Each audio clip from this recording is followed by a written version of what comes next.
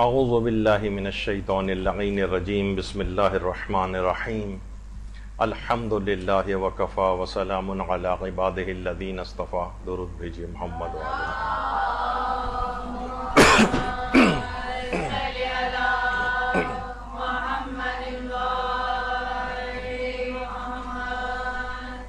ذاکری training classes کے اندر جیسا کہ ہم نے پچھلی دفعہ بھی ایک تاریخی بحث آپ کے سامنے پیش کی تھی اور اس کا تھیم یہی تھا کہ ایک ذاکر یا ذاکرہ کو جو بھی چیز وہ بیان کرے خواہ وہ تاریخی بات ہی کیوں نہ ہو، اس کے پیچھے اس کے پاس دلائل موجود ہوں، یا اگر وہ مسئلہ اختلافی ہے تو دونوں طرف کی باتیں اس کے دماغ میں ہوں۔ ممکن ہے آپ ایک ہی بات کو صحیح سمجھ کر کسی جگہ بیان کریں، لیکن معاشرے میں اس کے کچھ برخلاف مشہور ہو۔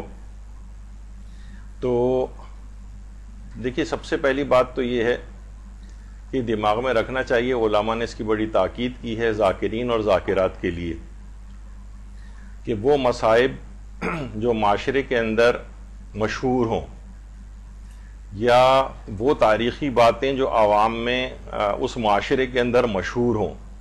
تاریخ میں وہ بھی آئی ہیں اور اس کے برخلاف بھی آئی ہے اگر بات۔ تو آپ مصائب میں خاص طور پر غیر مشہور باتوں کا تذکرہ نہ کریں۔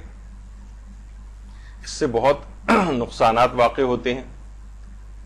یعنی جب تاریخ کے اندر ایک طرح سے ایک بات آئی ہے اور تاریخ میں دوسری طرح سے بھی آئی ہے اور کوئی ایک بات کسی معاشرے کے اندر بہت مشہور ہو۔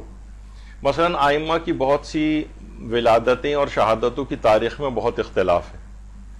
اب اگر کسی جگہ کوئی تاریخ منائی جاتی ہے اور آپ کوئی ایک اور دوسرا پہلو لے کر آئیں معاشرے میں اور کہیں کہ نہیں، یہ والی نہیں میرے تحقیق میں تو یہ والی تاریخ ثابت ہے۔ تو اس پہ علماء سے بھی سوال کیے گئے، مجتہدین سے بھی سوالات کیے گئے، تو انہوں نے یہی کہا کہ وہ تاریخیں جو ولادت یا شہادت کی کسی معاشرے میں مشہور ہیں، اس کے مطابق ہی آئمہ کی ولادتوں اور شہادتوں کو منایا جائے۔ اس کے برخلاف جاننے کی کوشش نہ کریں۔ لیکن بہت ساری تاریخی باتیں ایسی ہیں کہ جو معاشرے ہو سکتا ہے کہ آپ اگر تحقیق کریں تو وہ مشہور کے خلاف نکلیں۔ مثلا، میں صرف ایک مثال ابھی دے رہا ہوں آپ کو، اور وہ تاکید شروع میں بیان کر چکا ہوں کہ معاشرے میں جو بات مشہور ہو تاریخی اعتبار سے، اس کے خلاف اگر جائیں گے تو بہت نقصانات ہوں گے جو بھی آگے آئیں گے۔ مثلا، یہ بات تاریخ کے اندر ایک اختلافی ہے۔ کہ حضرت سکینہ سلام اللہ علیہ اور حضرت رقیہ سلام اللہ علیہ یہ الگ الگ شخصیات تھیں، ایک ہی شخصیت کے دو نام ہیں۔ یہ بحث ہے۔ اب آپ کے نزدیک مثلا یہ ثابت ہو جاتا ہے کہ یہ ایک ہی شخصیت کے دو نام ہیں۔ اور آپ اس طور پر پریزنٹ کر رہی ہوتی ہیں۔ یا بہت سے افراد کا یہ کہنا کہ جناب حضرت سکینہ سلام اللہ علیہ تو بعد میں زندہ بھی رہیں، انہوں نے ایک طویل عمر پائی۔ بعد میں ان کی شادی بھی ہوئی، اس طرح کی چیزیں بھی ہیں روایات کے اندر۔ لیکن یہ اگر آپ پڑھیں گی تو ایک خلفشار معاشرے کے اندر ہونے لگے گا۔ اسی طریقے سے ایک تاریخی اختلاف ہے کہ حضرت زینب سلام اللہ علیہ اور حضرت ام کلثوم سلام اللہ علیہ یہ ایک ہی شخصیت کے دو نام ہیں یہ الگ الگ شخصیات ہیں؟ ایک تحقیق یہ بھی ہے کہ حضرت زینب سلام اللہ علیہ کی کنیت بھی ابو، ام کلثوم تھی۔ تو اس لحاظ سے جب ام کلثوم کا لفظ آیا ہے تو اس کے معنی یہ ہیں کہ یہ انہی حضرت زینب سلام اللہ علیہ کی بات ہو رہی ہے۔ اور بہت سے علماء اس بات کے بھی قائل ہیں، جو کہ ہمارے معاشرے کے اندر رائج ہے۔ اور جو زیادہ صحیح بھی سمجھا جا سکتا ہے کہ یہ دو الگ الگ شخصیات تھیں۔ یہ خود ایک تاریخ کے اندر ایک اختلاف ہے۔ حضرت فاطمہ سغرا سلام اللہ علیہ کو مدینے میں امام کی بیٹی کوئی رہ چکی تھی وہاں پر یا نہیں؟ اس نام کی کوئی بیٹی تھی بھی ان کی یا نہیں؟ یہ خود ایک تاریخ کے اندر ایک اختلاف ہے۔ اب آپ مثلا یہ والی چیز لے کر آئیں، معاشرے میں ہمارے یہاں رائج ہے کہ حضرت فاطمہ سغرا ان کے نوحے بھی پڑھے جاتے ہیں اور ایک ان کے متعلق جو ہے وہ روایات کے اندر بھی بات آئی ہے۔ لیکن ایک تحقیق یہ بھی ہے کہ ان کی مثلا ایسی کوئی بیٹی مدینے میں نہیں تھی۔ اب آپ نے یہ چیز بیان اگر کرنا شروع کر دی معاشرے کے اندر، تو ایک عجیب خلفشار ہو جائے گا۔ مثلا، حضرت ام لیلہ سلام اللہ علیہ، جو حضرت علی اکبر کی والدہ گرامی تھی، کیا ان کی موجودگی واقع کربلا میں ثابت ہے یہ ثابت نہیں ہے؟ یہ وہاں پر اس سے پہلے انتقال کر گئی تھی۔ یہ بھی علماء کے درمیان ایک اختلافی بات ہے، ابھی آگے چل کر آئے گا۔ اور اکثر علماء اس بات کے بھی قائل ہیں کہ ان کی وفات اس واقع کربلا سے پہلے ہو گئی تھی۔ تو پھر وہ آپ کے دماغ میں فوراً آپ کے حاضرین یا سامعین جو ہوں گے، ان کے دماغ میں بات آئے گی، وہ تو ہم سنتے آ رہے ہیں ان کا نام آتا ہے اور امام نے ان کو آگے کہا کہ تم اپنے بیٹے کے حق میں دعا کرو، بیٹے کے لیے ماں کی دعا جو ہے قبول ہوتی ہے، وہ ساری لوگوں کے دماغ میں آنے لگیں گی چیزیں۔ تو جب بھی کبھی آپ اس طرح سے غیر مشہور چیزوں کو بیان کریں گے چاہے آپ کے نزدیک ثابت ہی کیوں نہ ہو۔ مثلا جیسے کہ اربعین ابھی گزرا ہے۔ تحقیق یہ ہے، علماء اس کو پیش کرتے ہیں کہ اسی سال کے جو اربعین ہوا تھا واقع کربلا کے بعد، اکسٹھ ہجری میں ہی قبر امام مظلوم پر یہ قافلہ پہنچا تھا۔ اور جابر بن عبداللہ انصاری بھی اسی وقت آئے تھے۔ لیکن ہمارے ہاں کیا مشہور ہے؟ اگلے سال آئے تھے۔ یا پھر چار سال بعد آئے تھے یا اس طرح سے کئی سال کے بعد۔ اب آپ اگر جو اپنی تحقیق اس طرح سے پیش کریں گی، چاہے وہ تحقیق صحیح ہی کیوں نہ ہو، لیکن معاشرے کے میں جو چیزیں پائی جاتی ہے اس کے خلاف اگر ہوگا تو ایک خلفشار سا ہوگا۔ سب سے پہلے تو جو لوگ خواتین آپ کے سامنے بیٹھی ہوں گی، وہ فوراً یہ دماغ میں سمجھ، سمجھیں گی کہ یہ ذاکرہ غلط پڑ رہی۔ ایک بہت بڑا ایک، تو آپ کی ساری تقریر بھی بیکار ہو جائے گی۔ چاہے آپ کے پاس علمی دلائل ہی کیوں نہ ہو تو وہ یہ سمجھیں گی کہ یہ اچھا پھر آئندہ آپ کو ممکن ہے کہ بلانا بھی ترک کر دیا جائے۔ یہ بھی ہو سکتا ہے کہ بھائی، یہ ذاکرہ صحیح نہیں پڑتی ہے فلاں فلاں چیز۔ اور وہ بات جو کچھ عرصے پہلے مولانا وسیع حیدر صاحب قبلہ نے آپ کی کلاس کے اندر پیش کی تھی کہ اس طرح سے آپ لوگوں کا گریا چھین لیں گی۔ جب وہ اس قسم کی تاریخی خلفشار کی باتیں یا تاریخی اختلاف کی باتیں سنتے ہیں نا تو ان کو پھر رونا وغیرہ نہیں آتا۔ تو یہ ایک بڑا یہ میں نے بیچ میں روک کے ابھی ہماری گفتگو شروع بھی نہیں ہوئی۔ تو یہ ابھی اگر آپ سنیں گی ہماری گفتگو کہ حضرت علی اکبر علیہ السلاۃ والسلام، امام سجاد علیہ السلام سے بڑے تھے یا چھوٹے تھے اور وہ شادی شدہ تھے یا نہیں تھے، اس پر ایک تاریخی ایک بحث ہے۔ اچھا ممکن ہے جو ابھی تک آپ سنتی آئی ہوں اس کے برخلاف اس کا نتیجہ نکلے۔ دونوں طرف کے ویسے دلائل اس کے اندر جو ہے وہ پیش کیے جائیں گے۔ تو ایک ذاکرہ کو ممکن ہے، ابھی ہم آگے چل کر ذکر کریں گے کہ ممکن ہے کہ آپ مثلا آپ کے نزدیک ثابت ہو جائے کہ حضرت علی اکبر کی جو عمر ستائیس سال تھی اور معاشرے کے اندر مثلا اٹھارہ سال کی جو ہے عمر مشہور ہے۔ اب اگر اب یہ بات آپ پیش کریں گی نا تو فوراً لوگوں کا گریا وریا سب ختم ہو جائے گا اور ان کے دماغ میں کھچڑی پکنے لگے گی کہ یہ ذاکرہ غلط چیزیں بیان کر رہی تو آئندہ بھی مشکلات ہوں گی، تقریر بھی ساری بیکار ہو جائے گی آپ کی اور لوگوں کا گریا بھی آپ چھین لیں گی۔ کیونکہ جب یہ تاریخی مباحث یا تاریخی اختلافات جو سیمینار میں اچھے لگتے ہیں، جو اس طرح کی جو بحثیں ہوتی ہیں بند کلاس روم کے اندر، اس کے اندر مختلف پہلو اچھے لگتے ہیں، لیکن عام عوام کے اندر مشہور کے خلاف بات کرنا، جبکہ وہ بھی تاریخ جھوٹی بات نہیں ہے کہ عوام میں کوئی بات جھوٹی مشہور ہے تو ہم بھی وہ نقل کریں۔ اس کے معنی یہ ہیں کہ اگر تاریخ کے اندر اختلاف ہے اور ایک پہلو یہ بھی ہے اور وہ پہلو عوام میں مشہور ہے تو آپ اسی کو ہی بیان کریں اور اس کے خلاف اور اس کے اگینسٹ نہ جائیں۔ یا بیان بھی کریں تو اس طرح سے کہ لوگوں کو گریا نہ، آپ ان سے چھینیں اور مشکوک بات نہ ہو۔ تو یہ ایک چیز آئی اس کے اندر۔ اچھا پہلی بات اس کے اندر یہ دماغ میں رکھنی چاہیے کہ جو تاریخی مسائل ہیں، یہ عقائد کی طرح سے نہیں ہوتے ہیں اور یہ فقی مسائل کی طرح سے نہیں ہوتے عوام کا معیار معیار علمی تھوڑا تھوڑا سا آپ کو یہ بڑھانا پڑتا ہے۔ ایک دم سے جاہل معاشروں کے اندر کسی تاریخی اختلاف کو بیان کرنا یہ ایک بڑا بگاڑ کا سبب بن جاتا ہے۔ تاریخی مسائل، یہ بات یاد رکھ لیجیے، ہم آپ کے لیے بھی ہے مسئلہ کہ ہم بھی اسی معاشرے کے اندر رہتے ہیں۔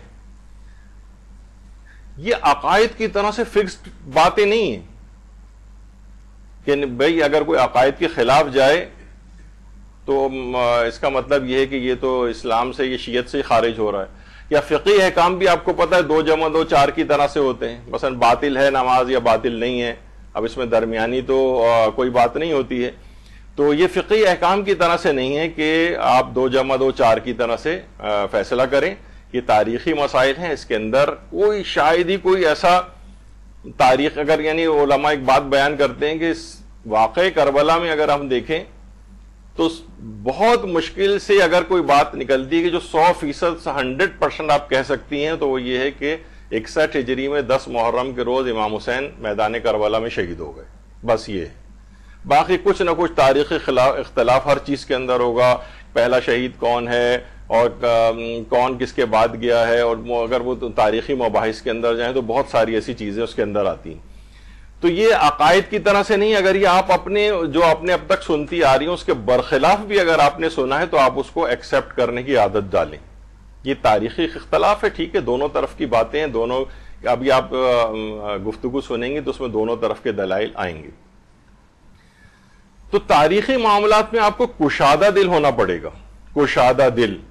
ایکسپٹ کریں بات کو کہ ہاں یہ بھی ہو سکتا ہے، یہ بھی ہو سکتا ہے۔ کیونکہ عقائد کا کوئی مسئلہ نہیں ہے، نہ میدان قیامت میں آپ سے پوچھا جائے گا کہ حضرت علی اکبر علیہ السلام عمر میں بڑے تھے، امام سجاد سے چھوٹے تھے، یا حضرت علی اکبر شادی شدہ تھے یا نہیں تھے، تو اس میں کوئی مسئلہ ہی نہیں ہے۔ دو، کوئی سی بھی بات آپ کے لیے ہو تو کوئی، بس یہ کہ ایک علمی اور تحقیق جس طریقے سے کوئی چیز ہوتی ہے، اس لحاظ سے اگر آپ کسی چیز کو پڑھیں تو بہت سی چیزیں بہت واضح اور کلیئر آپ کو ہوتی ہیں، تو کشادہ دل آپ کو ہونا پڑے گا۔ اچھا اب کیا حضرت علی اکبر علیہ السلام امام سجاد سے بڑے تھے؟ اچھا یہ کیوں یہ بحث آئے گی اس کا بھی نتیجہ آخر میں آئے گا کہ پھر ہمیں جب اتنی غیر اہم بات ہے تو ہم یہ اس پہ درست کیوں لے رہے ہیں یہاں پر؟ یہ ابھی آگے چل کر آئے گا۔ یہ ایک بہت بڑی کانٹروورسی ہے تاریخ دانوں میں بھی کہ کیا حضرت علی اکبر علیہ السلام امام سجاد سے بڑے تھے یا ان سے چھوٹے تھے۔ بہت زیادہ ان کی عمر مبارک میں حضرت علی اکبر کی تاریخی اختلافات بہت ہیں۔ یعنی اس اس قدر ہیں کہ اگر آپ اسے واقعی کتابوں کے اندر پڑھنا شروع کریں تو آپ بالکل کنفیوز ہو جائیں گی کہ آخر اس میں کون سی بات صحیح ایک مشہور قول جو یہاں پر یعنی ہمارے ہاں جو مشہور ہے، ہمارے ریجن میں جس انڈو پاکستان کے اندر، وہ یہ ہے کہ حضرت علی اکبر علیہ السلاۃ والسلام کی عمر مبارک اٹھارہ سال تھی۔ یہ ایک قول مشہور ہے۔ اچھا اس کے جو علماء اس کے قائل ہیں کہ حضرت علی اکبر کی عمر اٹھارہ سال تھی، وہ امام کا اس قول کو پیش کرتے ہیں جو روایات کے اندر آیا ہے کہ جب امام نے حضرت علی اکبر علیہ السلام کو میدان جنگ میں بھیج رہے تھے، تو انہوں نے یہ بات فرمائی تھی کہ اللہ مشہد اللہ قوم پروردگار اس بات کا گواہ رہنا کہ آج میں فقط برضا الہم غلامن۔ آج میں ایک ایسے جوان کو بھیج رہا ہوں، اشبہ الناس، جو کہ سب سے زیادہ لوگوں میں شباہت اختیار کر کر جس جس کی شباہت ہے رسول اللہ سے خلقن و خلقن و منطقن بے رسول کا۔ گفتار میں، کردار میں، سیرت میں، ہر لحاظ سے جو پیغمبر اکرم کی سب سے زیادہ شبی ہے۔ وکن نہ عزش تک نہ الا نبی کا اور جب بھی کبھی ہم رسول اللہ کو دیکھنے کے مشتاق ہوتے تھے نظرانہ الا وجہ ہم اس کی طرف نگاہ کرتے تھے۔ پروردگار گواہ رہنا کہ میں اس قوم کی طرف ایک ایسے جوان کو بھیج رہا ہوں۔ اچھا یہاں پر کیا ہے؟ فقط برضا الہم غلام، ایک ایسے غلام کو بھیج رہا ہوں۔ اچھا ہمارے دماغ میں تو غلام بس ایک ہی کو کہا جاتا ہے کہ جو سروینٹ وغیرہ گھر میں ہوتا ہے۔ عربی میں غلام کے ایک معنی ہیں کہ جو کہ بالکل نوخیز جوان ہو۔ چودہ، پندرہ، سولہ، سترہ، اٹھارہ سال کا جو نوجوان ہوتا ہے، لڑکا ہوتا ہے، اسے عربی میں غلام کہتے ہیں۔ امام نے فرمایا کہ آج میں ایک ایسے غلام یعنی ایسے نوخیز جوان کو بھیج رہا ہوں۔ تو علماء کہتے ہیں اگر ان کی عمر مثلا ستائیس سال، اٹھائیس سال یا اس طرح سے ہوتی تو پھر اس کے لیے غلام کا لفظ نہیں آتا۔ یہ بالکل ایک نوخیز جوان کے لحاظ سے یہ لفظ آتا ہے۔ تو اس لحاظ سے زیادہ بات یہ لگ رہی کہ ان کی عمر مبارک اٹھارہ سال تھی۔ اچھا۔ تو دیکھیے کیا ہے کہ برضا الہم غلام یعنی ایسے غلام کو بھیج رہا ہوں آج اس قوم کی طرف کہ جو سب سے زیادہ صورت، سیرت، گفتار، کردار سب میں پیغمبر اسلام سے سب سے زیادہ مشابہ۔ تو یہاں پہ لفظ غلام کبھی آپ نے کتنی دفعہ یہ والی روایت سنی ہوگی، لیکن آپ نے کبھی اس پہ غور نہیں کیا کہ ہاں لفظ لفظ غلام آیا ہے۔ غلام سے مراد ہے بالکل نوخیز جوان۔ اس سے بھی لگتا ہے کہ ان کی عمر اٹھارہ سال تھی۔ اچھا اب یہاں پر ایک چیز اور بھی ہے۔ تو امام نے کیا فرمایا؟ کانا اشبہ الناس، جو سب سے زیادہ شبہات رکھتا ہے خلقن و خلقن و منطقن بے رسول اللہ۔ خلق کے اعتبار سے یعنی جسمانی اعتبار سے، خلق کے اعتبار سے یعنی سیرت و کردار کے اعتبار سے وہ منطقن رسول اللہ کی گفتار کے اعتبار سے سب سے زیادہ تمام انسانوں میں رسول اللہ سے شبات اختیار رکھنے والا شخص آج اس کو بھیج رہا ہوں۔ اچھا یہاں پہ ایک اس موقع سے فائدہ اٹھاتے ہوئے یعنی امام نے جو نیچے والی چیز اگر آپ پڑھیں، عاشور کے دن امام حسین نے مقتل کی طرف حضرت علی اکبر کو روانہ کرتے فرمایا، معبود شاہد رہنا اس قوم پہ کہ ان کی طرف وہ جوان لڑنے جا رہا ہے جو سب سے زیادہ صورت، سیرت، رفتار و گفتار میں تیرے رسول سے مشابہ ہے اور جب ہم بھی جب بھی ہم تیرے رسول کی زیارت کے متمنی ہوتے تو اسی کا چہرہ دیکھتے تھے۔ کبھی آپ نے غور نہیں کیا کہ اس کے اندر تین شباہتیں امام نے ذکر کی ایک ہے شباہت خلقی۔ اس قدر خوبصورت تھے حضرت علی اکبر علیہ السلام کے روایات میں آیت اللہ ابراہیم کلباسی نے خصائص العباسیہ کے نام سے کتاب جو لکھی ہے، جس کے متعلق کہا جاتا ہے کہ شاید یہ حضرت عباس کی سیرت پر سب سے پہلی کتاب جو ہے وہ لکھی گئی ہے۔ اس سے پہلے اتنی مکمل کتاب کوئی نہیں تھی۔ اس کے بعد علامہ ذیشان نظر جوادی کی العباس کتاب ہے، وہ بھی آپ لے کے پڑھیں، ذاکرات ہیں، آپ کے لیے اچھی کتاب ہے اردو میں۔ کہ فرماتے ہیں اس میں کہ جب شبیہ پیغمبر حضرت علی اکبر اور حضرت عباس علامدار اکٹھے کسی راستے سے گزرتے تو اہل مدینہ آپ کے راستے میں صف در صف کھڑے ہو جاتے تھے تاکہ آپ کے چہروں کی زیارت اور جمال کا جلوہ دیکھیں اور آپ کے نور ایمان اور نظر رحمت سے مستفید ہوں۔ یعنی اس اللہم صلی اللہ محمد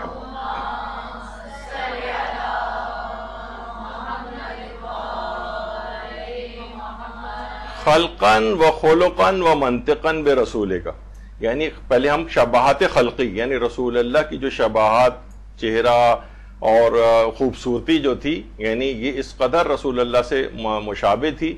اور پھر ان کی آپ نے خلقی طور پہ بھی دیکھا کہ اس قدر کے لوگ صف در صف بنا کر مدینے کی گلیوں میں ان کو دیکھنے کے لیے آتے تھے۔ اس سے اندازہ لگائیں آپ۔ اور یہ بھی یعنی امام حسین نے جو فرمایا کنہ عزش تقنا الا رویت نبی کا نظرانہ الہ جب بھی تیرے رسول کے دیدار کے ہم مشتاق ہوتے تھے تو ہم علی اکبر کی طرف نگاہ کرتے تھے۔ اچھا ایک کتاب ہے ہمارے ہاں دیکھیے، بہت کم اس لحاظ سے کتابیں ہیں اور ترجمے بھی اس کے بہت کم ہوتے ہیں۔ عباس عزیزی صاحب ہیں ایران کے کالم دین، انہوں نے دو سو داستانیں فضائل حضرت علی اکبر، مصائب علی اکبر اور کرامات حضرت علی اکبر علیہ السلام کے اوپر لکھی۔ دو سو داستانیں ہیں اس کے اندر، ان کی سیرت سے متعلق۔ تو اس کتاب کے اندر انہوں نے ایک واقعہ لکھا ایک بوڑھے کا کہ جو کہ کسی شہر کے اندر رہتا تھا اور بہت زیادہ رسول اللہ کے فراق میں گریا کرتا رہتا تھا کہ میں نے میں ان کی زیارت نہیں کر سکا۔ مختلف شہروں کے اور لوگ تھے جو مسلمان ہونے کے باوجود بھی زیارت نہیں کر سکے۔ تو کسی نے ان سے کہا کہ تم ایسا کرو، مدینے چلے جاؤ۔ اور وہاں پر امام حسین کی ایک بیٹے ہیں علی اکبر، وہ بہت زیادہ پیغمبر اسلام کے مشابہ ہیں، تم ان جا کر ان کی زیارت کر لو۔ یہ شخص جو ہے بوڑھا شخص مدینے کے لیے آیا اور امام حسین علیہ السلام کے پاس آیا۔ امام نے اپنے بیٹے علی اکبر کو آواز دی، بیٹا علی اکبر، اندر آؤ۔ جیسے ہی حضرت علی اکبر علیہ السلام اندر آئے، وارفتگی، شوق اور ایسا جے کہ جیسے وہ رسول اللہ کی زیارت کر رہا ہو، بے ہوش ہو کے وہ شخص نیچے گر پڑا۔ تو یہ جو ہے، یہ جو خاص طور پر یہ جو حسن و خوبصورتی خلقن امام نے کیوں کہا کہ بالکل رسول اللہ کی ہم شکل تھے وہ؟ تو اتنے اتنی شباہت تھی کہ وہ دیدار کی اور ان کے حسن کی تاب نہ لا سکا اور وہ شخص جو ہے وہ بے ہوش ہو کر گر پڑا۔ تو یہ خلقن کے اندر آتا ہے۔ اور یہ ہمارے ایک عالم ہیں جن جن کی کتاب علامہ حسن جلیل الامباری انہوں نے بھی صحیفہ علی اکبر اور کے نام سے جو ہے صحیفت الاکبر کے نام سے کتاب لکھی ہے۔ جس کے اندر حضرت علی اکبر کے فضائل ہیں، مناقب ہیں، ان کی ولادت، ان کی سیرت، ان کے آداب، ان کی اہل زمانہ کے ساتھ سیرت، شہادت تک کی پوری کتاب لکھی ہے۔ لیکن اس کا بھی کوئی اردو ترجمہ نہیں ہوا ہے۔ صرف ایک میں نے کہا کہ وہ بہت، علامہ ذیشان نظر جوادی کی جو کتاب العباس ہے، وہ بھی ہر جگہ شاید اویلیبل نہیں ہے۔ دوبارہ اس کا کوئی ایڈیشن میں نے دیکھا نہیں ہے۔ بہت عرصے پہلے وہ آیا تھا۔ تو بہرحال وہ جب وہ اس میں سے لے کے آپ مجالس کے اندر جو ہے وہ پڑھ سکتی ہیں۔ تو اس کے اندر بھی یہ سب واقعات موجود ہیں۔ اور ان کی حسن و خوبصورتی کے اس قدر دشمنان بھی قائل تھے کہ روایت میں ملتا ہے کہ ایک مرتبہ حاکم شام نے اپنے دربار میں درباریوں سے کہا کہ تمہاری نظر میں آج مسند خلافت رسول کا سب سے زیادہ مستحق کون ہے؟ تو ظاہر خوش آمدی تھے انہوں نے کہا ہر لحاظ سے تو ہمیں آپ ہی مستحق خلافت نظر آتے ہیں۔ حاکم شام نے کہا، نہیں، یہ بات بالکل جھوٹ ہے۔ انصاف سے دیکھو تو تمام عرب میں علی اکبر یعنی علی ابن الحسین سے زیادہ ہرگز اس مسنت کی کوئی اور مستحق نہیں ہے، کیونکہ ان کے جد رسول خدا ہیں۔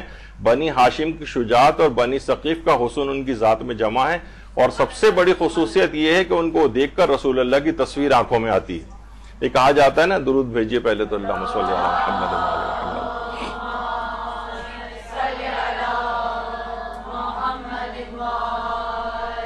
کہ اصل تعریف وہ ہوتی ہے جس جو دشمن کی زبان کے اوپر جاری ہو۔ منتح العمال میں شیخ عباس قومی نے اس بات کو لکھا ہے۔ اچھا کچھ علماء کہتے ہیں کہ یہاں پر علی ابن الحسین سے مراد بعض تاریخ دانوں نے کہا ہے کہ ممکن ہے امام سجاد ہوں، لیکن علماء نے کہا نہیں، جو اس نے آگے چل کر کہا ہے کہ بنو ہاشم کی شجاعت اور بنی ثقیف کا حسن ان کی ذات میں جمع ہے، تو وہ بنی ثقیف کا حسن، کیونکہ حضرت علی اکبر کی جو والدہ تھیں وہ بنو ثقیف سے تھی تو یہ انہی کی طرف حضرت علی اکبر کی طرف اشارہ ہے۔ اور بعض علماء نے کہا کہ یہ حاکم شام کی ایک چال بازی تھی۔ ٹھیک ہے کہ اس نے حضرت علی اکبر علیہ السلام کے لیے تعریفی کلمات، وہ تو اس کے حقدار تھے ہی، یہ سب جاری کیے ہیں۔ لیکن وہ اس کا کام، اس مقصد سے یہ تعریف کرنا تھا کہ امام زین العابدین کی طرف سے لوگوں کی توجہ ہٹائی جائے۔ اور کہا کہ اصل مسند خلافت کے حقدار تو علی اکبر ہیں یعنی امام زین العابدین نہیں۔ تو یہ اس کی ایک چال بازی بھی تھی۔ لیکن بہرحال یہ کہ یعنی ہم اس لحاظ سے کہہ رہے ہیں کہ امام نے جو کہا تھا کہ خلقن و خولقن یعنی خلقن یعنی انتہائی حسین تھے رسول اللہ کی طرح سے، تو اس کے اندر بھی یہ بات آئی کہ بنی ثقیف کا حسن ان کے اندر جو ہے وہ موجود تھا۔ دوسری کیا ہے؟ شباہت خلقی۔ حضرت علی اکبر علیہ السلام میں خلقی شباہت، یہ بیچ میں کیونکہ بات آ گئی تو ہم چاہ رہے ہیں کہ جب حضرت علی اکبر علیہ السلام پہ گفتگو ہے تو ان کی سیرت کا یہ پہلو بھی آ جائے۔ خلقن و خلقن ان کا سیرت و کردار بھی رسول اللہ کی شبی۔ یہ بہت بڑی بات ہے، اسے اگر آپ سوچیں۔ بہت بڑی بات ہے۔ رسول اللہ کا اخلاق کیسا تھا؟ وہ انا کا لالا خلوقین عظیم قرآن نے کہا ہے کہ آپ اے رسول خدا خلق عظیم کے اوپر فائز ہیں۔ اور امام فرما رہے ہیں کہ علی اکبر کا جو اخلاق ہے، وہ رسول اللہ کے اخلاق کے مشابہ کوئی تصور کر سکتا ہے کہ یعنی عام کوئی اگر کوئی شخص یہ بات بیان کرے تو ہم چلیں پھر بھی اس کے اندر قیل و قال کو ہی نکال سکتے ہیں۔ لیکن امام معصوم حضرت علی اکبر کے متعلق فرما رہے ہیں کہ ان کا جو اخلاق ہے وہ پیغمبر اسلام کے اخلاق کے مشابہ ہے۔ خلقن و خلقن اور قرآن نے کہا وہ ان کا لا خلقن عظیم آپ عظیم ترین اخلاق کے منازل کے اوپر فائز ہیں۔ تو اس سے آپ حضرت علی اکبر علیہ السلام کا سوچ سکتی ہیں کہ کس قدر ان کا مقام اور مرتبہ ہے۔ کس قدر درود بھیجے محمد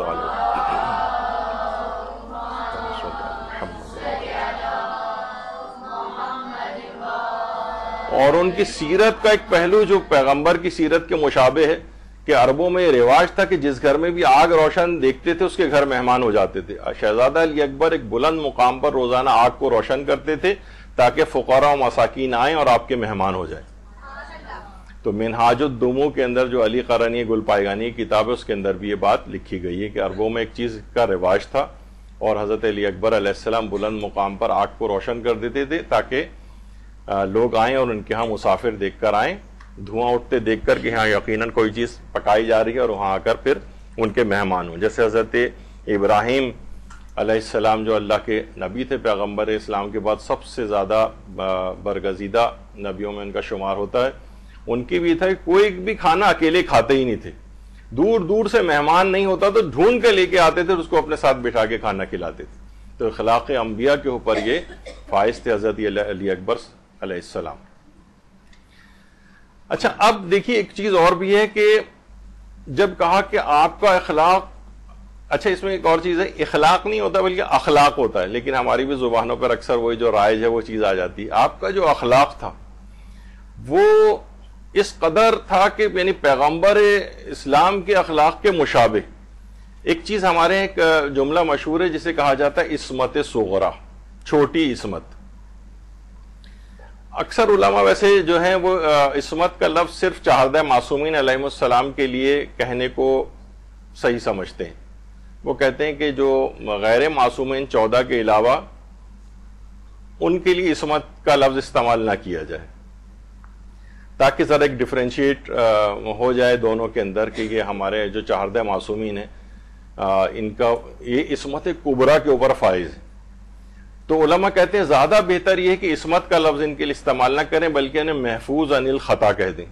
یہ تاکہ ایک کہ یہ لوگ مقام عصمت یعنی جو پروردگار کی طرف سے ایک عہدہ، ایک لحاظ سے ہے، اس کے اوپر یہ فائز نہیں ہے، بلکہ یہ محفوظ انل خطا ہے۔ لیکن کچھ علماء ایسے ہیں، جب ان سے سوال کیا گیا، مثلا آیت اللہ گرامی سے سوال پوچھا گیا کہ آیا فرزندان آئمہ علیہ السلام معصوم ہستن؟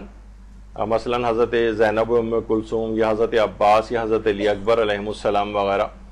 تو انہوں نے جواب دیا کہ معصوم اگر ان معنوں میں ہے کہ جو خدا کی طرف سے تضمین شدہ ہیں اور وہ کوئی گناہ نہیں کرتے ہیں، تو وہ تو فقط پیغمبران اور امام امام ہیں ہمارے۔ لیکن اگر اس کے یہ معنی ہوں کہ ایسے افراد کے جو عملاً کوئی گناہ ہی نہیں کرتے، تو ایسے تو بہت سارے اولیاء خدا ہیں۔ یعنی کتنے ہی ہمارے علماء ایسے ہیں کہ جن کی زندگیوں میں کوئی گناہ نہیں ملتا ہے۔ تو یعنی عملاً وہ گناہ نہیں کرتے، لیکن اللہ کی طرف سے تضمین شدہ نہیں کہ یہ بات ان کو اللہ کی طرف سے ایک گاڈ گفٹڈ ایک ملکہ دی عطا کیا گیا ہو اسمت کا، وہ چہردہ معصومین کے پاس ہے۔ تو اس لحاظ سے بہت سے علماء کہتے ہیں اسمت اگر ان معنوں کے اندر آپ کہہ رہے ہیں تو ایسے تو بہت سارے افراد ہیں اور وہ حضرت عباس بھی اسمت کے اوپر فائز ہیں، اسی طریقے سے زینب ام کلثوم بھی ہیں، حضرت علی اکبر علیہ السلام بھی ہیں، اگر ان معنوں میں۔ اور آیت اللہ بہجت جو تھے وہ بھی اس بات کے قائل تھے۔ باقاعدہ جو ان کی ویب سائٹ ہے، مرکز تنظیم و نشر و آثار حضرت آیت اللہ بہجت، اس میں رحمت واسعہ جو ان کے جو مختلف اقوال وغیرہ کے اوپر جو کتاب مرتب کی ہے، تو اس کے اندر آیت اللہ بہجت یہ فرماتے ہیں کہ عصمت جو ہے، وہ انبیاء اور اوسیہ کے اندر وہ تو شرط ہے۔ لیکن اگر ہم یہ کہیں کہ نبی اور وسیع ہی کے اندر صرف عصمت ہوتی ہے، تو اس کی ہمارے پاس کوئی دلیل نہیں۔ تو اس لحاظ سے بلکہ حضرت آیت اللہ بہجت تو فرماتے تھے کہ زید ابن علی جو امام زین العابدین کے بیٹے تھے، کہہ رہے اللہ صلی علی محمد محمد۔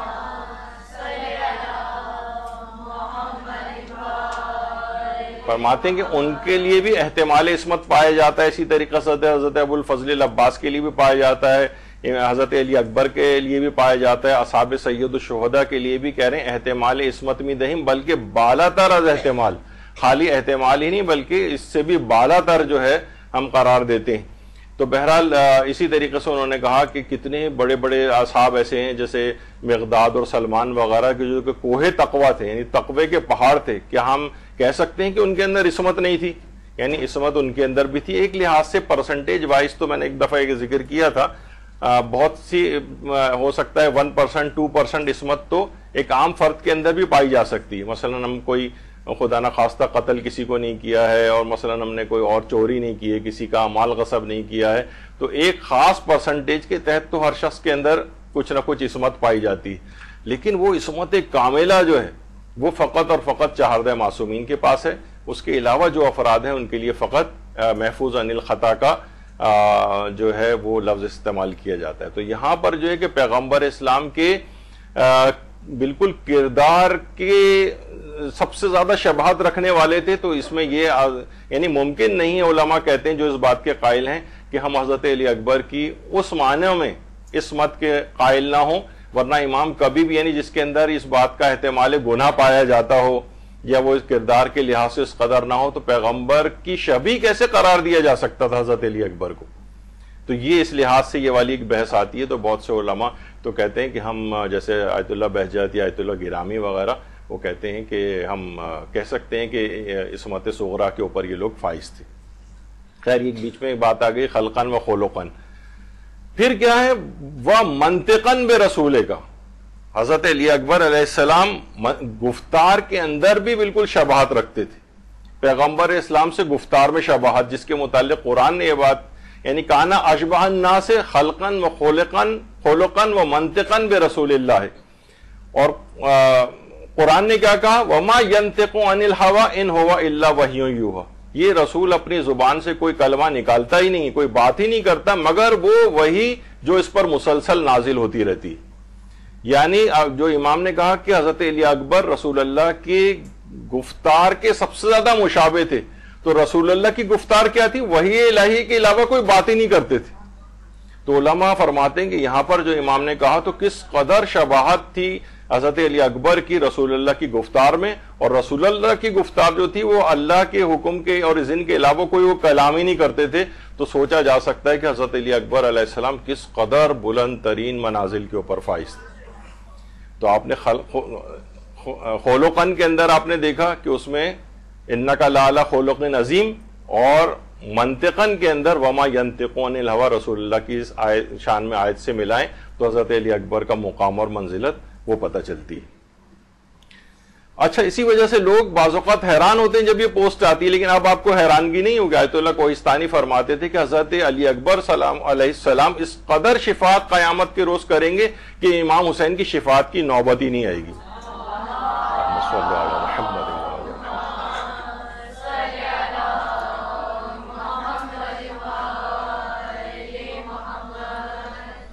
ہر چیز میں جب مشابہ ہیں تو رسول اللہ کے لیے شفاعت کبرا ہے، پروردگار نے دی۔ تو اگر حضرت علی اکبر علیہ السلام جو ہر چیز میں مشابہ ہوں، ان کے لیے اس قدر شفاعت کا حق کہ اس قدر شفاعت کریں گے کہ بعد میں کسی اور افراد کی شفاعت کی نوبت ہی نہیں آئے گی۔ یہ کوئی زیادہ ایسی حیران کن بات نہیں ہے اس کے اندر۔ اگر اگر شان علی اکبر بیان نہ ہو، یہ سمجھ میں نہ آئے، تو پھر تو یہ سوال دماغ میں آتا ہے کہ کیسے ممکن ہے؟ لیکن ابھی جب آپ نے رسول اللہ سے اس قدر شباہت ان کی دیکھی، تو اب آپ کو حیرانگی نہیں ہونی چاہیے۔ تو یہ حضرت علی اکبر علیہ السلاۃ والسلام اس انداز سے یہی وجہ ہے کہ جب بھی امام حسین علیہ السلام نے کہا تھا کہ یا بنیا الگ دنیا باد کا لفا تیرے جانے کے بعد اس دنیا کے اوپر حیف ہے، تیرے اس دنیا سے جانے کے بعد یہ دنیا میرے لیے اندھیر ہے۔ یعنی اس قدر عظیم شخصیت تھی امام حسین کی نگاہ میں، حضرت علی اکبر کی، کہ اس کے بعد کہتے تھے کہ اس دنیا کے اندر کوئی دلچسپی کی بات باقی نہیں رہی تیرے جانے کے بعد۔ یا بنیا الگ دنیا باد کا لفا تو اچھا اولیاء خدا میں سے بھی قرار دیتے تھے امام حسین علیہ السلام، حضرت علی اکبر کو۔ روایات کے اندر ملتا ہے دلالی امامہ میں تبری نے یہ بات لکھی ہے کہ کثیر ابن شاہزان کہتا ہے کہ میں امام حسین علیہ السلام کو دیکھ رہا تھا، جبکہ ان کے فرزند علی اکبر ان سے انگور کھانے کی فرمائش کر رہے تھے۔ جبکہ وہ انگور کا موسم ہی نہیں تھا۔ امام حسین نے مسجد کے ستون پر ہاتھ مارا، جس سے انگور اور کیلے نکل آئے۔ پھر امام نے فرمایا، اللہ کے اولیاء کے لیے جو اللہ کے یہاں موجود ہے اس سے کہیں زیادہ ہے۔ تو اس لحاظ سے امام حسین علیہ السلام حضرت علی اکبر کو اولیاء خدا میں سے قرار دیتے تھے۔ اور ان کے لیے اس طرح کے معجزات بھی ہیں کہ انگور اور انگور کا موسم نہیں ہے، لیکن دیوار پہ ہاتھ مار کے ایک معجزہ دکھایا اور علی اکبر کے لیے انگور آئے۔ اسی طرح سے اچھا اب ہم کیا ذکر کر رہے تھے؟ اس میں لفظ ایک آپ نے دیکھا کہ اس سے پہلے امام نے کہا کہ میں ایک ایسے غلام کو بھیج رہا ہوں، ایسے جوان کو بھیج رہا ہوں، اس سے بھی لگتا ہے کہ ان کی عمر اٹھارہ سال تھی۔ اور حضرت علی اکبر علیہ السلام کے جو رجز جو میدان جہاد میں جا کر دشمن کے سامنے پڑے جاتے تھے، اس میں بھی حضرت علی اکبر علیہ السلام نے جو کہا ہے، آخری دو اشعار جو ہیں بسیف احما ان ابی ضرب غلام ہاشمی علوی۔ اس میں بھی کہا ہے کہ انہوں نے کیا کہا؟ کہ میں اپنے دشمن پر کاری ضرب لگاؤں گا اور اپنے باپ کی حمایت کروں گا، وہ بھی ایک ہاشمی اور قریشی جوان کی تلوار سے۔ تو اس میں کیا ہے؟ ضرب غلامن ہاشمین علوی۔ یعنی انہوں نے کہا کہ یہاں پہ بھی اپنے لیے غلام کا لفظ استعمال کیا۔ ہم نے اس سے پہلے کہا کہ غلام بالکل ایک نوخیز جوان کے لیے کہا جاتا ہے۔ تو خود امام نے بھی ان کے لیے غلام کا لفظ استعمال کیا۔ اور حضرت علی اکبر نے رجز میں اپنے لیے بھی غلام یعنی ایک نوخیز جوان کی تلوار سے میں ان کے اوپر ضرب لگاؤں گا۔ یہ اس قسم کے الفاظ استعمال کیے۔ اچھا اب حضرت علی اکبر علیہ السلام جو تھی، ان کی عمر مبارک میں جو تاریخی اختلاف ہیں، ابھی تو آپ نے ایک، ابھی ایک چیز سنی جو ہمارے یہاں سب سے زیادہ رائج ہے کہ وہ ہے کہ ان کی عمر اٹھارہ سال تھی، تو جو علماء اٹھارہ سال کے قائل ہیں، وہ آپ نے سنا کہ ان دو باتوں کو اپنے دلائل بناتے ہیں حضرت علی اکبر کے رجز، جس میں انہوں نے خود کو غلام کہا ہے، اور ایک مولا حسین کے جو الفاظ کے میں ایک ایسے غلام کو بھیج رہا ہوں آج تو وہ ابھی آپ نے سنا۔ کچھ روایات کے اندر ان کی عمر انیس سال ہے، کچھ کے مطابق بیس سال ہے تاریخ کے اعتبار سے۔ کچھ میں ستائیس سال ہے، کچھ میں تینتیس سال ہے، کچھ میں اڑتیس سال ہے اور ایک ایسی بھی ہے جس میں یہ کہ وہ نابالغ تھے۔ اس کو تو خیر علماء نے کہا ہے کہ بالکل ناقابل اعتنا ہے کہ وہ حضرت علی اکبر علیہ السلام نابالغ تھے وقت کربلا ایسا کچھ نہیں ہے۔ البتہ یہ جو بات کی تاریخیں اٹھارہ، انیس، بیس، ستائیس، تینتیس، اڑتیس یہ جو ہے تاریخ کے اندر اتنا زیادہ اس سلسلے میں اختلاف آیا ہے۔ اچھا وجہ اس کی کیا ہے اختلاف کی کہ حضرت علی اکبر کی تاریخ ولادت کے سلسلے میں کیا کوئی صحیح روایت موجود ہے؟ تو اس کا جواب ہے کوئی صحیح روایت اصل میں موجود نہیں۔ کوئی ایک بھی صحیح سند یا جس پہ قابل اعتنا ہو، وہ ایسی کوئی روایت موجود نہیں۔ البتہ علماء نے جو زیادہ رجحان ظاہر کیا ہے کہ ولادت حضرت علی اکبر تینتیس ہجری میں ہوئی ہے اور ولادت امام سجاد وہ چھتیس یا اڑتیس ہجری میں ہوئی تو جو زیادہ امکان ہے کہ ان کی ولادت تینتیس ہجری میں ہوئی ہے، اس لحاظ سے اور امام سجاد کی چھتیس یا اڑتیس میں ہوئی ہے، اس سے لگتا ہے کہ وہ امام سے تین یا پانچ سال بڑے تھے حضرت علی اکبر۔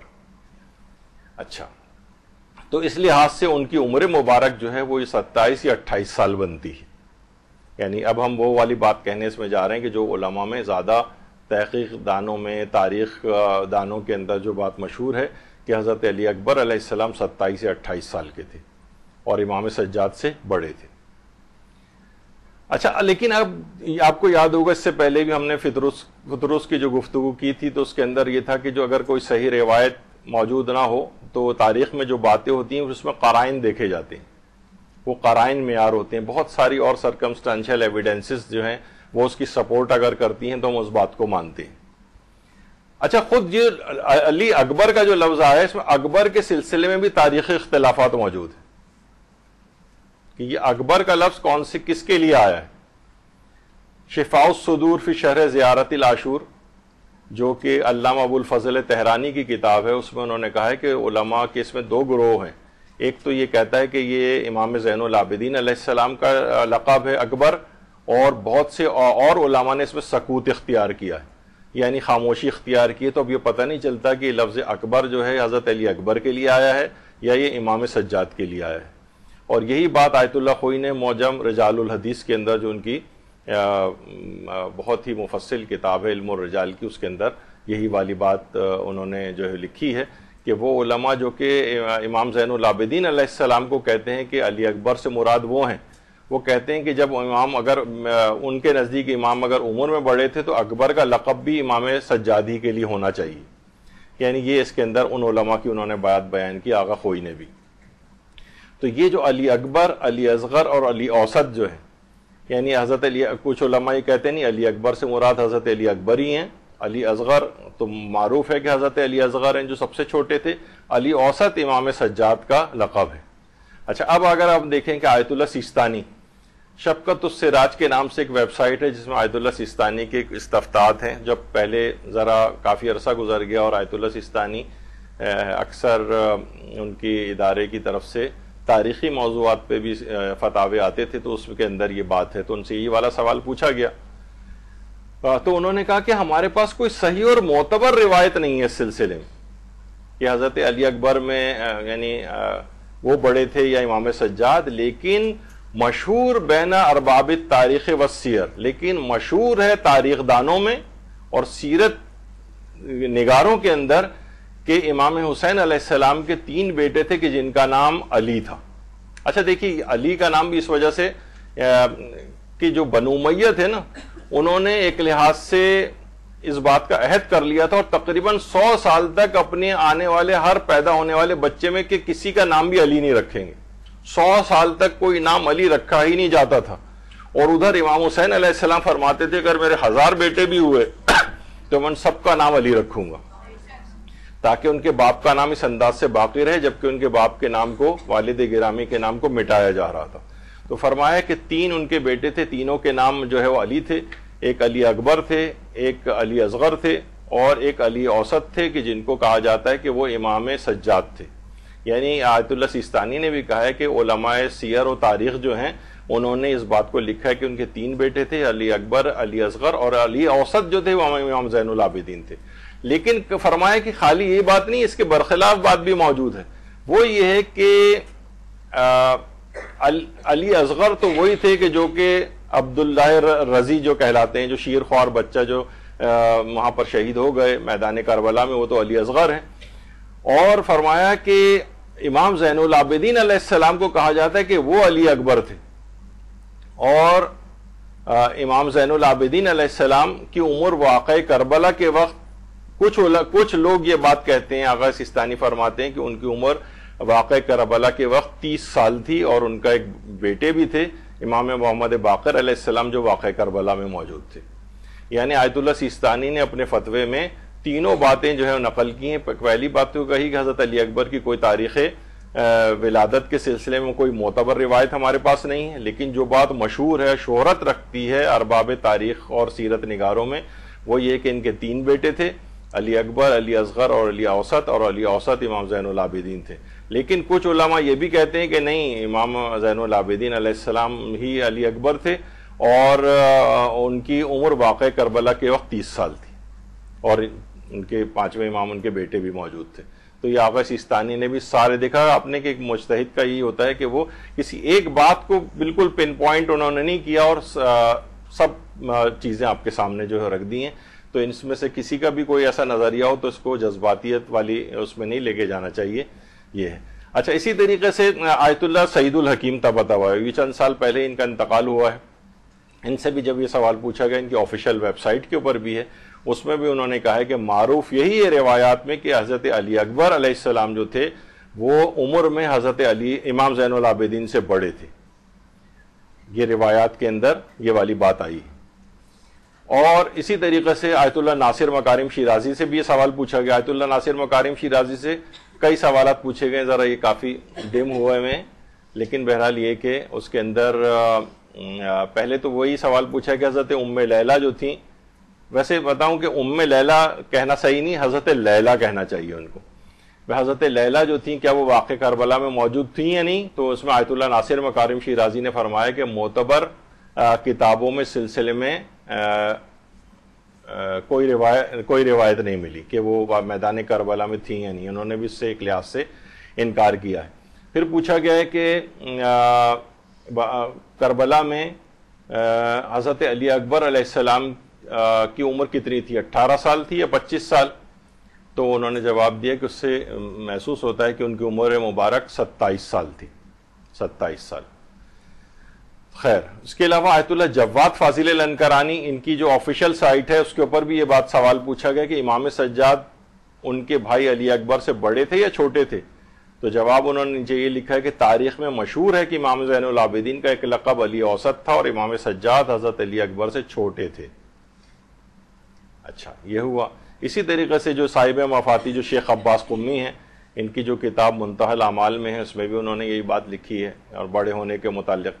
اچھا اب خالی بڑے ہونے کا ہی معاملہ نہیں ہے، بلکہ اس پہ بھی علماء ڈسکس کرتے ہیں کہ حضرت علی اکبر علیہ السلام واقع کربلا میں ان کی شا... یہ شادی شدہ تھے یا ان کی شادی نہیں ہوئی تھی؟ اس پہ علماء، اب یوٹیوب پہ اگر آپ سرچ کریں تو علماء کے کافی اس کے اوپر بیانات موجود ہیں، عرب علماء کے بھی۔ اور حضرت علی اکبر علیہ السلام کی زوجہ کون تھیں، کیا تھا اس متعلق کوئی کلپس موجود ہیں۔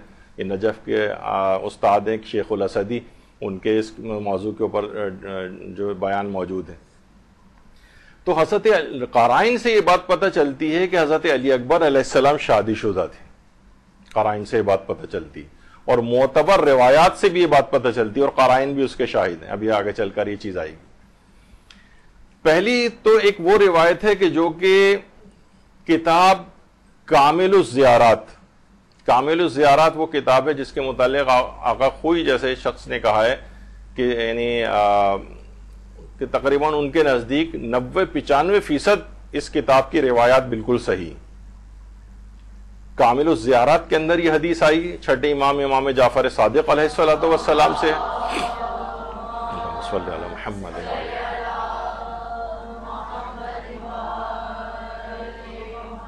اور اس کے راوی ہیں ابو حمزہ سمالی اچھا اس کے اندر بھی ہے کہ لوگ عامدر ابو ہمارے ہاں جو رائج ہے وہ ابو حمزہ سومالی رائج ہے۔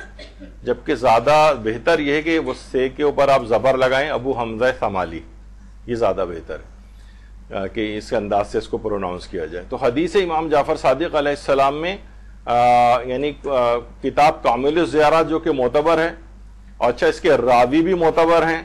ابھی ہم ان کا بھی نام ذکر کریں گے۔ اور چھٹے امام سے یہ روایت ہے۔ اور ابو حمزہ سمالی جو ہے سے یہ زیارت نقل ہوئی ہے اور آیت اللہ سید محمد صادق روحانی کی بھی تحقیق رہی ہے۔ جب انہیں سوال پوچھا گیا کیا حضرت علی اکبر شادی شدہ تھے تو انہوں نے جواب دیا کہ حضرت امام صادق سے مروی جو زیارت ہے حضرت علی اکبر ہے۔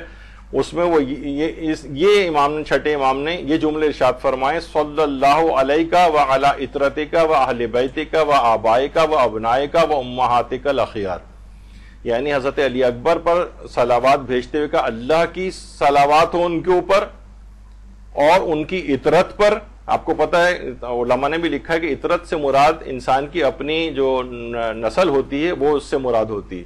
ان کی حضرت علی اکبر کی اطرت کے اوپر اللہ کی سلاوات ہو، اور ان کے اہل بیت کے اوپر ہو، اور ان کے والدین کے اوپر ہو، والد کے اوپر ہو، اور ان کے بیٹوں کے اوپر ہو، وہ امہات کا لخیار اور ان کی مثلا والدہ گرامی کے اوپر ہو۔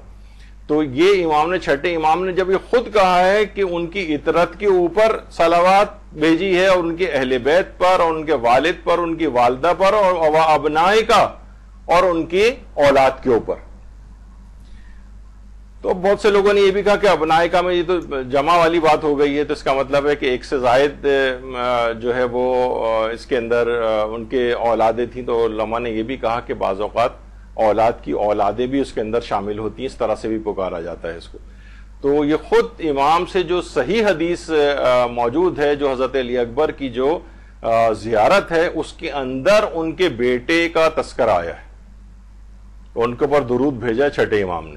اگر ان کی کوئی اولاد نہیں تھی تو ان کی اطرت پر درود بھیجنے کے کیا معنی تھے؟ ان کے اہل بیت پر درود بھیجنے کے کیا معنی تھے؟ اور ان کے وہ ابنائے کا یہ کیوں امام نے کہا؟ تو اس کا مطلب یہ ہوا کہ وہ شادی شدہ تھے اور ان کا کوئی بیٹا بھی تھا۔ یہ۔ پھر آگے چل کر انہوں نے ایک اور روایتی امام رضا وہ ہمیں آگے چل کر بھی ذکر کریں گے۔ تو اس کے اندر انہوں نے فرمایا کہ ایک اور روایت ہے امام رضا سے کہ حضرت علی اکبر علیہ السلام نے ام ولد یعنی کنیس سے شادی کی تھی اور ان سے یعنی ان کا ایک بیٹا حسن نام کا پیدا ہوا تھا۔ جس وجہ سے آپ کو ابو الحسن کی کنیت سے پکارا جاتا ہے، ابھی آگے چل کر ایک خیر یہ بات آئے گی۔ اسی طرح آیت اللہ، ید اللہ دوستانی، ان سے بھی سوال پوچھا گیا کہ اس سلسلے میں آپ یہ بتائیے کہ حضرت علی اکبر علیہ السلام کی شہادت کے وقت وہ شادی شدہ تھے؟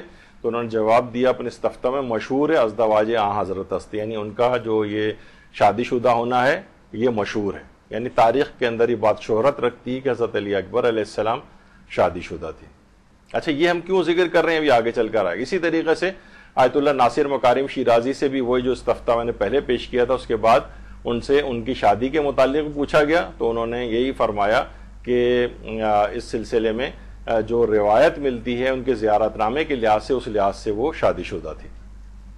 تو آیت اللہ ناصر مکارم شیرازی کا بھی۔ یہ عبد الرزاق المکرم ہے۔ ان کا نام ابھی میرا خیال ہے اگر کل کلاس آپ کی ہوئی ہے ڈاکٹر شیخ محمد علیم کی، انہوں نے مقتل مکرم کا نام ایک مقتل الحسین جو کہ عبد الرزاق المکرم کا جو مقتل ہے، جس کا اردو ترجمہ بھی ہو چکا ہے۔ اور یہ اوتھینٹک مقاتل کے اندر شمار ہوتا ہے، اس کے اندر سے آپ لے کر یہ اردو زبان میں اس کا ترجمہ بھی ہو چکا ہے مقتل مکرم کے نام سے۔ یہ آپ لے کے اس میں سے اگر جو آپ مصائب پڑھیں گی تو یہ اوتھینٹک مصائب شمار ہوتے ہیں۔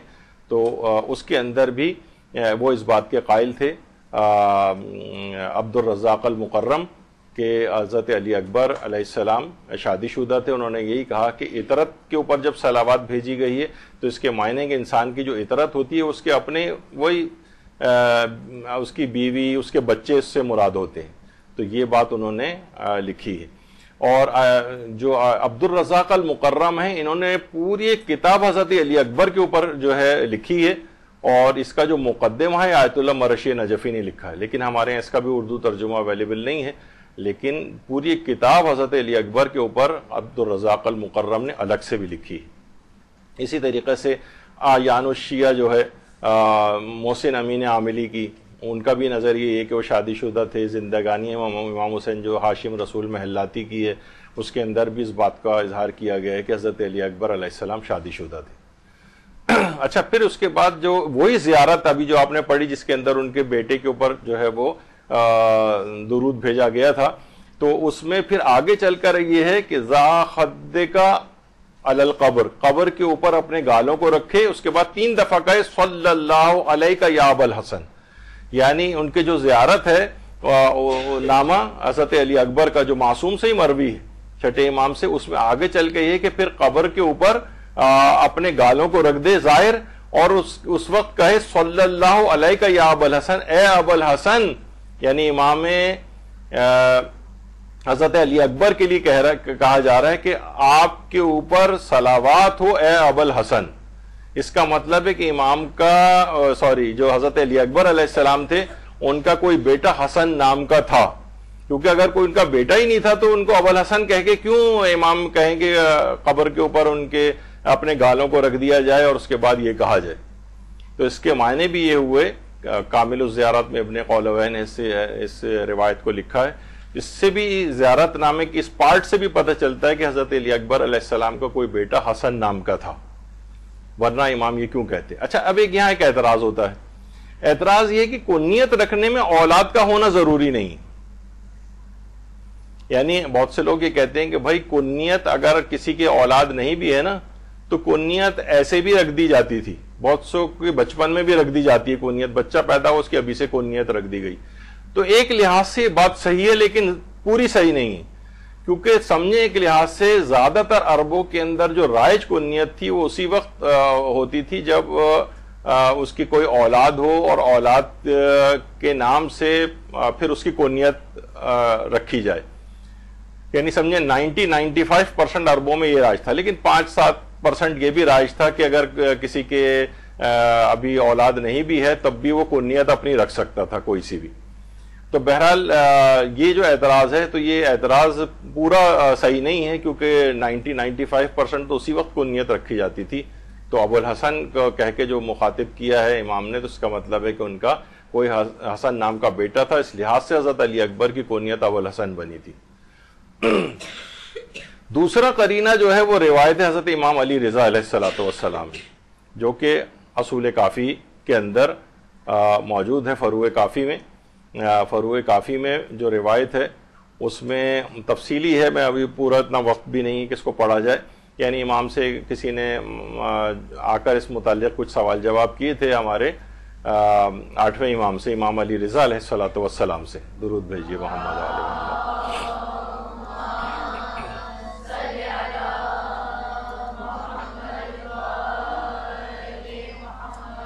اور اس میں سوال اس متعلق تھا کہ ہمارے جو چوتھے امام تھے، ان کی شادی کس سے ہوئی تھی؟ اس طرح کے کچھ سوالات تھے۔ اور اس نے جو راوی تھا، اس نے کچھ غلط طرف نسبت دی تھی کہ آپ کی، ان کی شادی یہاں نہیں، یہاں ہوئی تھی۔ تو امام نے فرمایا تھا لئیسا ہا قزا ایسا نہیں جیسے تم کہہ رہے ہو۔ بلکہ امام زین العابدین علیہ السلام کے لیے امام رضا نے فرمایا، انما تزوجہ علی ابن الحسین ابنت الحسن، کہ امام سجاد نے امام علی ابن الحسین نے، امام سجاد نے امام حسن کی ایک بیٹی سے شادی کی تھی۔ یعنی شادی ایک بیٹی سے کی تھی۔ یہ اچھا یہ جو بیٹی تھی یہ ام عبداللہ کہلاتی جن سے امام محمد باقر علیہ السلام پیدا، کی پیدائش ہوئی۔ اور ایک اور بیٹے بھی تھے جو عبداللہ نام کے تھے، جس لحاظ سے ان کی کون، جو کنیت ہے، ام عبداللہ جو ہے قرار پائی تھی۔ ویسے فاطمہ بنت الحسن ان کا نام تھا۔ یعنی امام حسن کی ایک بیٹی سے امام سجاد کی شادی ہوئی تھی اور امام امام علی رضا فرماتے ہیں اور ان کی دوسری شادی جو ہوئی تھی، وہ ام و ام ولد علی ابن الحسین المقتول اندکم اور جو دوسری ان کی جو زوجہ تھی وہ ان کی شادی ام ولد سے ہوئی تھی۔ کن کی ام ولد؟ علی ابن الحسین یعنی حضرت علی اکبر کی وہ بیوہ، جن کا حضرت علی اکبر سے ایک بیٹا بھی تھا۔ ام ولد جو کہا جاتا ہے نا، ام ولد۔ ام ولد اس کنیز کو کہا جاتا ہے کہ جس کا پہلے سے بیٹا موجود ہو پہلے سے کوئی اولاد ہو، وہ ام ولد کہلاتی تو امام نے فرمایا کہ امام زین العابدین نے ایک تو شادی امام حسن کی بیٹی سے کی تھی اور دوسری جو تھی، ایک کنیز سے کی تھی، جس سے ان کا ایک بیٹا بھی تھا یعنی اپنی بیوہ بھاوت سے پھر امام نے شادی کی اور یہ صحیح روایت ہے۔ اس کے اندر اگر آپ دیکھ رہی ہیں وہ روایت کے اندر کہ اوپر دیکھیں، علی ابن ابراہیم ان ابی ان احمد ابن محمد ابن ابی نصر۔ یہ احمد ابن محمد ابی نصر ان کا نام بزنتی کے نام سے یہ مشہور ہیں۔ ایک راوی ہیں بزنتی۔ بزنت اصل میں کپڑے کو کہا جاتا تھا، اس زمانے میں ایک مشہور کپڑا تھا جو کہ یہ کپڑے کا کاروبار کرتے تھے اس لحاظ سے بزنتی کے نام سے مشہور ہوئے۔ ان سے تقریباً آٹھ سو روایات ہیں اور اصحاب اجماع میں سے کہلاتے ہیں بزنتی۔ بہت معتبر راوی ہیں۔ اور انہوں نے ساتویں، آٹھویں اور نویں امام کا دور دیکھا ہے۔ یعنی بہت ہی اوتھینٹک راوی ہیں۔ انہوں نے اس روایت کو بیان کیا کہ خود آٹھویں امام نے بات بیان کی کہ امام زین العابدین نے، ایک تو امام حسن کی بیٹی سے شادی کی تھی اور اور حضرت علی اکبر کی بیوہ سے یعنی ام جو ولد تھی، ان کی کنیز جس سے ان کا پہلے سے بیٹا موجود تھا، ام ولد اس کنیز کو کہا جاتا ہے جس کی ان سے پہلے سے اولاد موجود ہو۔ ان سے انہوں نے شادی کی تھی اور وہ علی ابن الحسین جو کہ واقع کربلا میں شہید ہو گئے تھے۔ یعنی یہ معتبر ایک روایت اس سلسلے میں ایک تو ام ولد آپ نے سن لیا اور یہ بزنتی کی روایت ہے جن کی اوتھینٹسٹی آپ نے سنی۔ اور دوسرے ایک اور اس کے دوسری روایت ایک اور جگہ پہ آئی ہے، قرب الاسناد نامی جو کتاب ہے علامہ حمیری کی۔ اس میں انہوں نے جس میں ابن ابی عقیل عمانی یہ ہمارے ان مجتہدین اولین جو غیبت صغرا کے بعد جو اشتہاد کا پورا سلسلہ باقاعدہ جاری ہوا ہے، اس میں بالکل ابتدائی جو مجتہدین ہیں، ان میں ابن ابی عقیل عمانی اور جو ابن جنید اسکافی جو ان کے ہم اثر تھے اور یہ غیبت صغرا کے اندر موجود تھے۔ قرب الاسناد جو کتاب ہے، اس میں ہے کہ بہت کلوز جو آئمہ سے جو روایتیں ہیں، جس میں راویوں کا سلسلہ زیادہ طویل نہیں ہے۔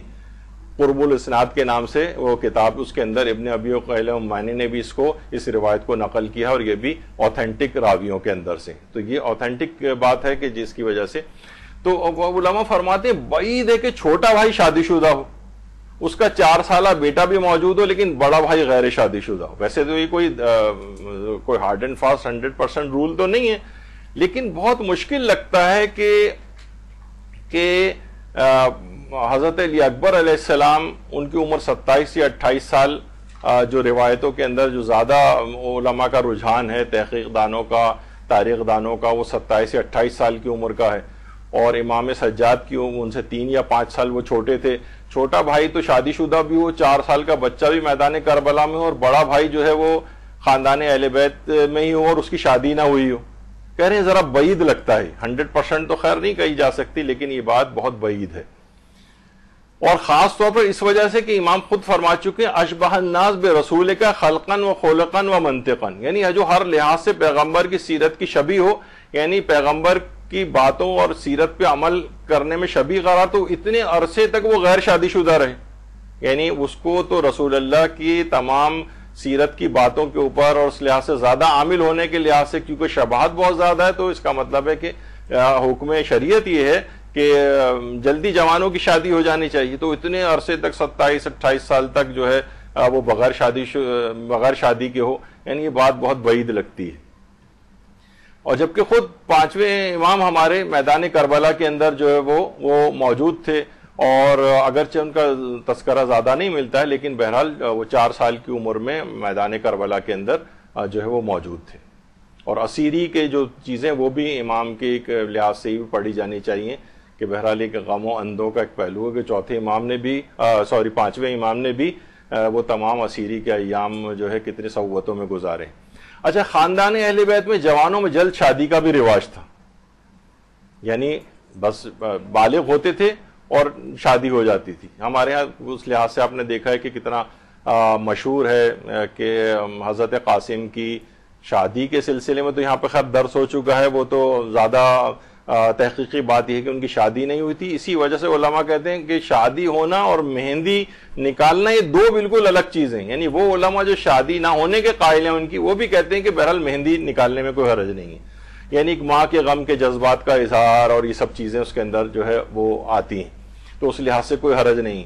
تو وہ کہ جن کی عمر اور زیادہ کم تھی، ان کے متعلق تو یہ بات ہو اور جو حضرت علی اکبر جو ہیں، وہ عمر جو ہے مثلاً ستائیس یا اٹھائیس سال ان کی ہو، ان کی شادی نہ ہوئی ہو۔ تو اس لحاظ سے یہ پاسبلٹی جو ہے وہ بہت مشکل ہمیں نظر آتی ہے۔ تو خاندان اہل بیت میں جوانوں کی جلد شادی کا بھی رواج تھا۔ تو اس لحاظ سے بھی یہی امکان اس کا ہے کہ ان کی وہ شادی شدہ تھے اور اس کے بعد ایک اور بات کہ جب جزید کے دربار میں ہمارے چوتھے امام موجود تھے اور خاندان اہل بیت کے تمام افراد اس لحاظ سے موجود تھے، تو مقاتل الطالبین جو ابن فرج اسفہانی کی کتاب اس میں ایک مکالمہ جو ہے، وہ امام سجاد کا یزید سے جو ہے نقل ہوا ہے۔ سما دا یزید لعنت اللہ علیہ۔ پھر اس یزید نے پکارا، بے علی ابن الحسین، امام سجاد کو پکارا یزید نے۔ فقالا ماں اسموں کا یعنی تمہارا نام کیا ہے؟ یزید نے چوتھے امام سے کہا، تمہارا نام کیا ہے؟ فقالا علی ابن الحسین۔ کہا، میرا نام علی ابن الحسین ہے۔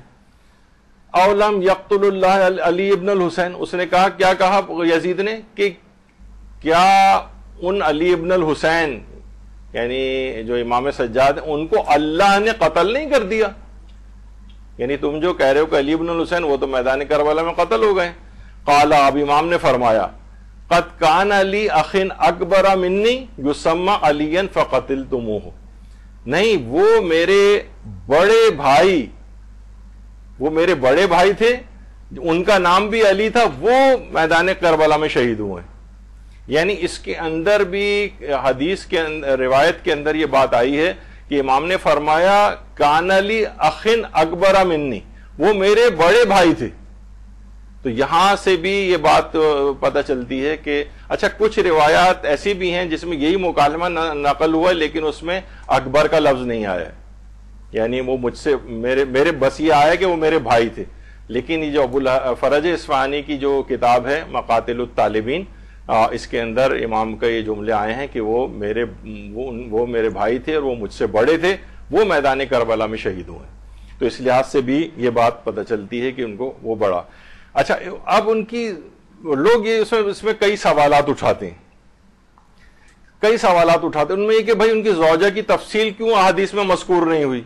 یعنی اگر وہ حضرت علی اکبر علیہ السلام شادی شدہ تھے تو ان کی بیوی کی تفصیل کیوں نہیں آئی؟ تو یہ بات یاد رکھ لیں، تمام علماء کہتے ہیں خاندان اہل بیت میں اپنے گھر کی خواتین کی باتوں کی، ان کی ناموں کی، ان کی خصوصیات کی تشہیر کرنا یہ ناپسندیدہ سمجھا جاتا تھا۔ یعنی خود آئمہ ذکر نہیں کرتے تھے۔ یہی وجہ ہے کہ یہ بھی نہیں ملتا کہ ان کون بچہ یا بچی کون سے سن کے اندر پیدا ہوا، کون سے یہ خود اچھا جو آئمہ کے جو اصحاب تھے، جب خود آئمہ تذکرہ کرنا پسند نہیں کر رہے ہیں، تو ان کے اصحاب باصفہ کیسے تذکرہ کرتے اس بات کا؟ تو روایات کے اندر ان کی زوجاؤں کی جو تفصیل ہے، کنیزوں کی جو تفصیل ہے، یہ روایات کے اندر نہیں آئی۔ تو یہ صرف حضرت علی اکبر علیہ السلام کے لیے نہیں ہے، بلکہ یہ دیگر آئمہ کے لیے بھی یہی بات ہے۔ یعنی ان کی تفاصیل اگر آپ جائیں تو بہت زیادہ اختلاف ہے کہ مولا علی کی کتنی ازواج تھیں، دیگر آئمہ کتنی، اتنا زیادہ تاریخی اختلاف اگر آپ کبھی اس کو کھول کے دیکھیں تو کوئی بھی ایک، کوئی ایک عدد، کوئی کوئی چیز اس میں موجود نہیں۔ تو اس لحاظ سے اگر اگر حضرت علی اکبر علیہ السلام کی زوجہ کی تفصیل نہیں آئی ہے زیادہ کتابوں کے اندر تو اس میں کوئی حیرانگی کی بات نہیں۔ پھر دوسرا سوال یہ اٹھایا جاتا ہے کہ اگر ان کی کوئی زوجہ تھی تو ان کی قبر کہاں ہے؟ تو کتنی آئمہ کی اور جو ازواج ہیں، حتیٰ کہ جو آئمہ معصومی ہیں، ان کے ازواج کی قبریں پتہ نہیں ہے کہاں ہیں۔ تو اس میں آپ یہ نکالیں صرف کہ حضرت علی اکبر علیہ السلام کی زوجہ کی قبر کہاں ہے۔ نہیں پتا کہاں ہے، کیونکہ دیگر آئمہ کے ازواج کی قبروں کا بھی کچھ پتہ نہیں۔ اور بعض اوقات قبریں یوں بھی چھپائی جاتی تھیں کہ بے حرمتی کا خوف ہوتا تھا۔ خود حضرت زہرہ کی قبر چھپائی گئی، مولا علی کی قبر کتنے عرصے کے بعد ظاہر ہوئی، اس طرح سے، کیونکہ وہ جسموں کو نکالنے، قبر کھود کے نکالنے کی فکر میں رہتے تھے۔ پھر ایک سوال یہ اٹھایا جاتا ہے، حضرت علی اکبر کی زوجہ کی نماز جنازہ کس نے پڑھا یہ میں نے خود دیکھے ہیں انٹرنیٹ پہ جو سوالات جوان ہمارے جو ہے بعض اوقات کر رہے ہوتے ہیں۔ اس زمانے میں اس طرح سے نہیں ہوتا تھا جس طرح ہمارے یہاں کہ باقاعدہ مسجد میں اعلان ہو رہا ہے اور اس کے بعد سارے لوگ جمع ہو رہے ہیں اور ایک خاص ماحول نماز جنازہ کا ہوتا ہے، ایسا نہیں۔ کتنی روایت کے اندر ہے کہ امام معصوم اپنے اصحاب کے ساتھ سفر میں تھے، رستے میں ان کی ایک بیٹی کا انتقال ہوا۔ وہیں پر ہی امام نے حکم دیا کہ ان کو تجہیز و تکفین کر کے وہیں راستے میں ان کو دفن کیا اور آگے چل پڑے۔ یعنی ہم جو اپنے دماغ میں ہم نے ایک تصور بٹھایا ہوتا ہے نا کہ اس طرح سے اموات کی جو مراسم اور یہ سب کچھ ہوتی ہیں، اس انداز سے ہوتا ہوگا، ایسا نہیں تھا۔ ہمارے ہاں تو یہ تک ہوتا ہے کہ جناب، اگر کوئی کربلا میں اگر انتقال کر گیا تو بعض جنازے کربلا سے یہاں لائے گئے ہیں انچولی واپس دفن کرنے کے لیے۔ ارے بھائی، آپ جو ہے نا وہ کربلا میں ایک دفن ہو شخص انتقال کر گیا تو اس سرزمین کے اوپر اسے دفن ہونے دیتے نہیں، یہاں لایا گیا ان کو۔ تو بہرحال ہمیں وہ والا قیاس نہیں کرنا چاہیے تو حضرت علی اکبر کی زوجہ کی کب ان کا انتقال ہوا، کسی نے نماز جنازہ پڑھائی نماز جنازہ کوئی بھی شخص کھڑا ہو کر مختصر ترین پڑھا سکتا ہے، اس میں کوئی وہ نہیں ہے کہ اس کو الگ سے روایات میں بیان کیا جائے۔ ان کی کوئی اولاد کی تفصیل کیوں مذکور نہیں ہے؟ تفصیل اسی وجہ سے مذکور نہیں ہے کہ بہت تو وہ کتنے ہی دیکھیں خاندان اہل بیت کے بچے تھے کہ جو اونٹوں کے اور گھوڑوں کے سومو تلے جو ہے وہ گر گر کے گھوڑوں سے اور اونٹوں سے جو ہے وہ زخمی ہوئے اور پھر شہید ہو گئے۔ ان کے نام بھی روایات کے اندر نہیں آئے۔ کیا معلوم کہ ان کے اندر کوئی ایسا ہو، بچہ ہو ان کا کہ جو کہ حسن نام کا تھا اور وہ پھر میدان کربلا ہی کے اندر شہید ہو گیا ہو؟ لیکن ان کی کوئی تفصیل جو ہے روایات کے اندر جو ہے بہرحال مذکور نہیں ہوئی ہے، تاریخ میں نہیں آئی ہے۔ خود واقع کربلا میں امام محمد باقر علیہ السلام کی موجودگی کی تفصیل نہیں ہے۔ اللہم صلی علی محمد محمد۔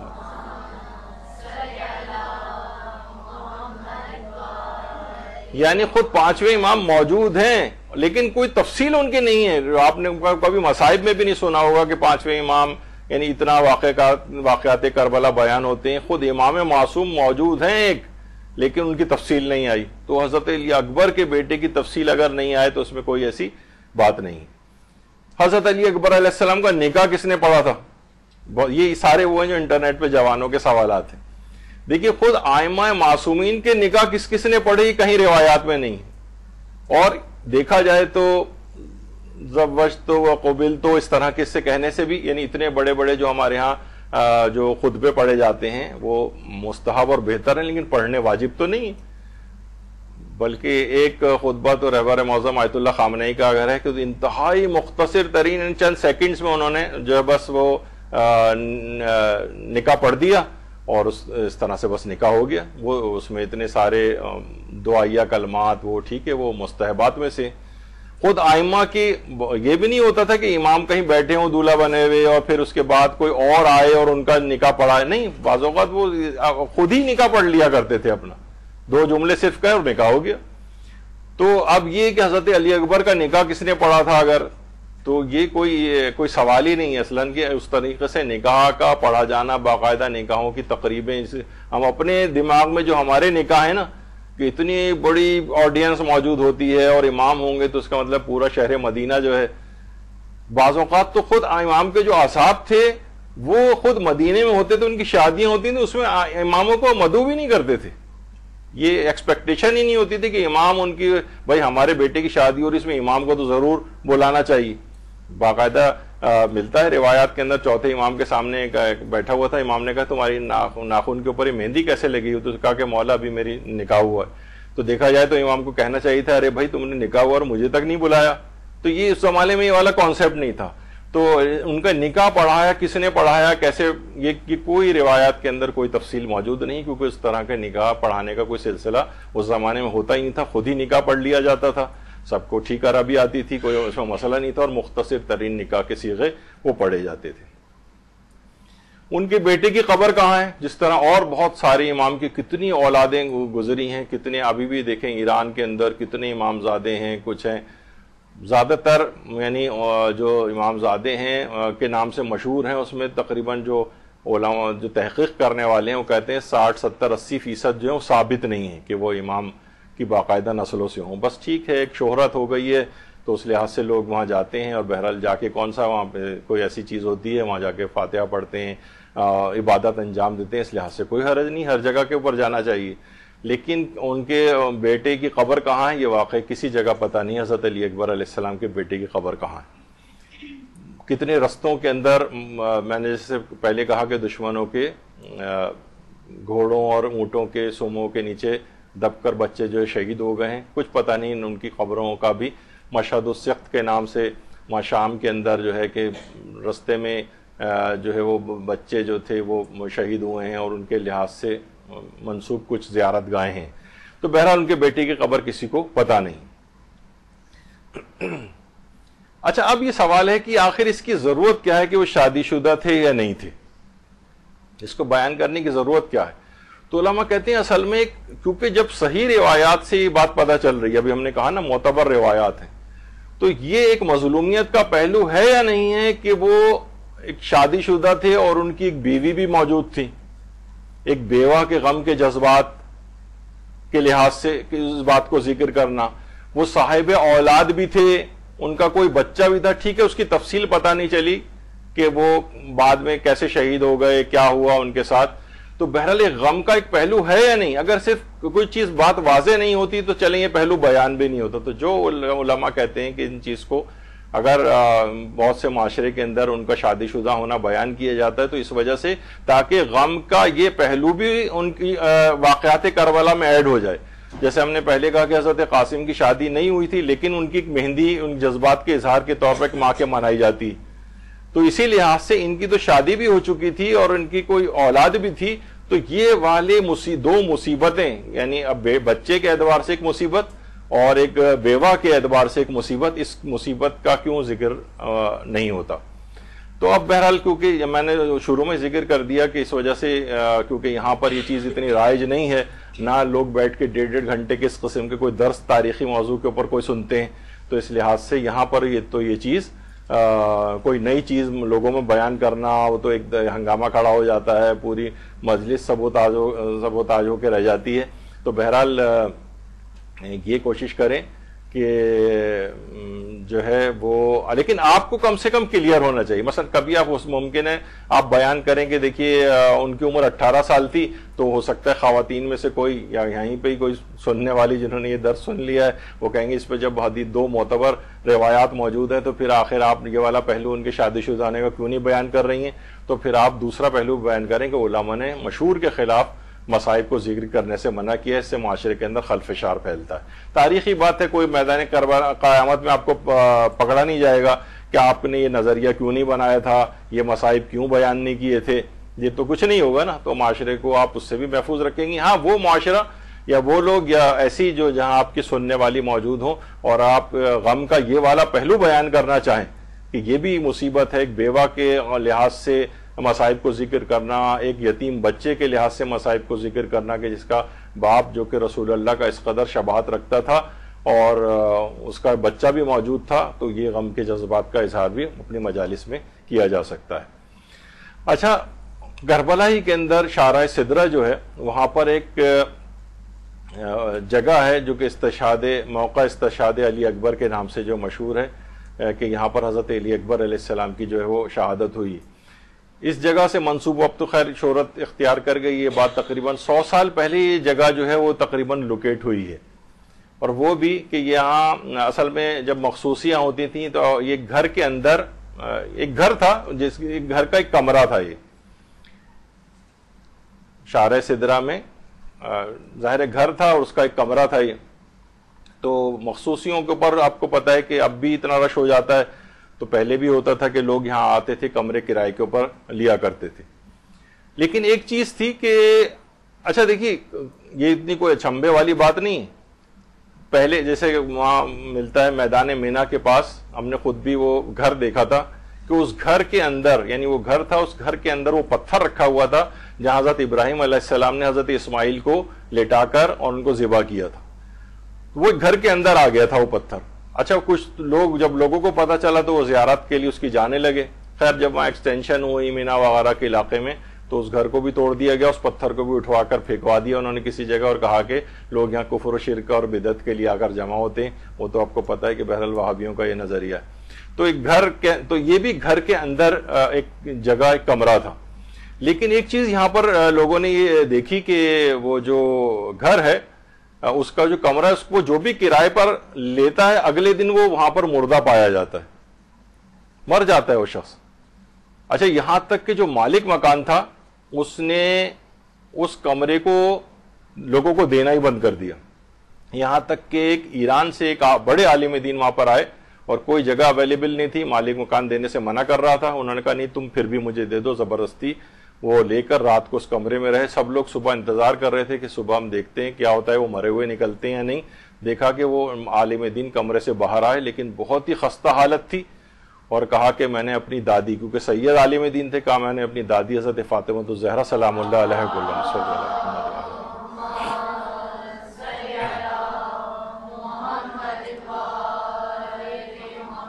دیکھا کہ وہ اس کمرے میں آ کر بہت زار و قطار جو رو رہی ہیں، ظاہر ہے ان سے محرمیت بھی رکھتی تھیں وہ، کیونکہ سید ان کے اولاد کے اندر سے ہیں۔ تو جب انہوں نے پوچھا کہ اتنے زیادہ آپ کے رونے کا سبب کیا ہے، تو انہوں نے فرمایا کہ یہ وہ مقام ہے کہ جہاں میرا بیٹا علی اکبر جو ہے شہید ہوا ہے۔ تو جب سے وہ جگہ جو ہے، باقاعدہ طور پر جو ہے، وہ لوکیٹ ہوئی اور لوگوں کو یہ بھی سمجھ میں آیا کہ جب ان کی اتنی بری حالت تھی، تو وہ افراد جو جب شدت کے ساتھ حضرت زہرہ سلام اللہ علیہ کو روتا دیکھتے تھے تو وہ ان سے برداشت نہیں ہوتا تھا اور اس وجہ سے وہ برداشت نہ کرنے کی وجہ سے انتقال کر جاتے تھے۔ لیکن ان کو یہ بات بیان کرنا تھی۔ تو بہرحال تقریباً سو سال کا جو عرصہ یا اس لحاظ سے جو ہے وہ ابھی یہ گزرا ہے، جس کے اندر سے یہ مقام جو ہے وہ لوکیٹ ہوا ہے۔ مقام استشاد علی اکبر اب لوگ یہاں پر جانا شروع ہو گئے اور اس لحاظ سے یہ واضح طور پر اب یہ جگہ بن گئی تو بہرحال حضرت علی اکبر علیہ السلام کی آپ نے اپنی دیکھی ہے، اس لحاظ سے ان کی سیرت۔ اور اب جو حضرت علی اکبر علیہ السلام ہے وہ ذریعہ امام مظلوم میں پائنتی کی جانب دفن ہے ان کے سینے کے اوپر آیت اللہ حافظ بشیر نجفی فرماتے ہیں کہ ہم ہمارے اساتذہ میں سے بعض نے نقل کیا ہے کہ حضرت علی اصغر علیہ السلام امام حسین کے سینے پر دفن ہے کچھ کہتے ہیں کہ سینے کے قریب دفن ہے کچھ کہتے ہیں امام حسین کے سینے پر رکھ کر چوتھے امام نے ان کو دفن کیا تھا۔ اور ان کی پائنتی کی طرف حضرت علی اکبر علیہ السلاۃ وسلام ہے، تو اس ذریعے مقدس کے اندر ہی حضرت علی اکبر دفن ہے السلام علیکہ یا علی ابن الحسین الاکبر۔ ہمارا سلام ہو ان کے اوپر اس شخصیت پر جو صورت، سیرت، کردار، گفتار، ہر لحاظ سے پیغمبر اسلام کی شبی تھا۔ تو بہرحال اب یہ جو پوری گفتگو آپ نے سنی، تو اس وجہ سے یہ صرف آپ کی خدمت میں عرض ہوئی کہ جب بھی آپ کبھی تاریخی چیزوں کو بھی دیکھیں تو اس میں ہم نے شروع میں کہا کہ کوئی فقی مسائل نہیں ہیں، یہ کوئی عقائد کی باتیں نہیں ہیں۔ اس میں بہت زیادہ انسان کو ہم نے دیکھا ہے کہ جب کبھی کوئی ہم مدرسہ بھی کوئی تاریخی بات کو کوئی پوسٹ بنا کے ڈالتا ہے، وہ ہمارا مقصد خلفشار برپا کرنا نہیں ہوتا، بلکہ ٹالرنس ڈیولپ کرنا ہے لوگوں میں۔ تاکہ لوگ جو ہے نا مخالف بات بھی اگر سن رہے ہوں یعنی جو اب تک سنتے آئے ہیں، اس کے برخلاف کوئی بات تو ان کے اندر جذب کرنے کی ایک صلاحیت پیدا ہو جائے کہ ہاں یہ بھی ممکن ہے، یہ بھی ممکن ہے، یہ بھی علماء کہتے ہیں، یہ بھی کہتے ہیں، تو تاریخی معاملات میں اتنی حساسیت نہ پیدا ہو جائے۔ تو کیونکہ لیکن تقریر کے اندر معاملہ الگ ہوتا ہے، تحریر میں یا پوسٹ وغیرہ کے اندر ڈالنا ایک الگ معاملہ ہوتا ہے۔ تو بہرحال ہمارا وہ جو ہے، طریقہ کار اگر کوئی چیز نئی بھی چیز ہوتی ہے، تاریخی تحقیق ہوتی ہے، جیسے حضرت علی اکبر کے شادی شدہ ہونے کی آیت اللہ صادق روحانی کا جو استفتہ ہی ہم اکثر سات یا آٹھ محرم کے قریب اس کو جب ڈالتے ہیں تو بہت زیادہ اس کے نیچے ایک لمبے لمبے ڈسکشن شروع ہو جاتے ہیں۔ لیکن وہ ہم بہت برا بھلا بھی کہا جاتا ہے، لیکن اس کو ہم برداشت کرتے ہیں تاکہ اس وجہ سے کہ لوگوں میں نا اس کی حساسیت کم ہو تاریخی مسائل کے اندر۔ اور وہ یہ نہ ہو کہ بھائی ہم نے تو یہ چیز سنی نہیں، لہٰذا جو نہیں سنی تو یہ غلط ہے۔ تو لیکن جب آپ تقریر میں اگر اس مشہور کے خلاف اگر جاتے ہیں نا تو پھر وہ آپ کی اپنی تقریر اس سے متاثر ہوتی ہے، آپ کو آئندہ بلایا نہیں جائے گا، لوگوں کا گریا آپ چھین لیں گے۔ تو یہ چیزیں ایسی ہیں کہ جس سے آپ کو چاہیے کہ بہرحال تاریخی مسائل کے اندر ہر طرح سے، ہر زاویے سے اپنی تحقیق کو پائے تکمیل تک پہنچائیں، تاکہ تقریر کے بعد اگر کوئی آپ کے سے سوال کرے تو آپ کے پاس اس کا اچھا جواب موجود ہو۔ اب یہ اس طرح کی چیزیں جب آپ کے پاس جمع ہوتی جائیں گی، آپ اپنا خود ہی، یہ تو ایک دو مثالیں ہم نے صرف بیان کی ہماری کیونکہ دو ہی کلاس ہوئی تھی اب تک۔ تو ایک فطرس کے موضوع پر تاریخ کی بات لی، آج ایک حضرت علی اکبر کے سلسلے میں آئی۔ تو اس طرح سے تاریخ کے اور بہت سارے موضوعات آپ لے لے کے جمع کرتی جائیں۔ یہاں تک کہ چند سالوں میں آپ دیکھیں گے کہ تاریخ کربلا سے متعلق ایک بہت بڑا آپ کے پاس ایک مواد جمع ہو جائے گا، جس پہ ہر طرح کے آپ کے پاس کوئی اگر سوال بھی کرے تو آپ اچھے طریقے سے اس کو جواب دے سکیں۔ تو ذاکرات کے حوالے سے یعنی ان کو جب بھی کوئی چیز بیان کرتے ہیں تو لوگوں کے سامنے اصل میں آپ ایک ایک سمبل ایک ہوتی ہیں کہ بھائی یہ اگر ممبر پر آئی ہیں تو ہم سے ان کی معلومات زیادہ ہے تو ان سے جو سوال پوچھا جائے گا یہ جواب دیں گی۔ تو اگر آپ نے بالکل رٹی رٹائی چیزیں یاد کر رکھی ہیں، صرف رٹ رکھی ہیں اور وہ بیان کر رہی ہیں تو ایک دو سوال میں ہی آپ ڈھے ہو جائیں گی لوگوں کے سامنے اور آپ کا تاثر آئندہ تبلیغات کے لحاظ سے کمزور پڑ جائے گا۔ تو بہتر ہے کہ آپ جو ہے نا اپنی معلومات کو وسیع کرتے جائیں، وسیع کرتے جائیں۔ تاریخ میں متضاد باتیں بھی ہوتی ہیں، ان سب کی معلومات رکھ کے پھر ممبر پہ جائیں گی تو انشاءاللہ زیادہ بہتر تبلیغ کر سکیں گی وصلی اللہ علیہ محمد و علیہ طیبین الطاہرین۔ درود بھیجیے محمد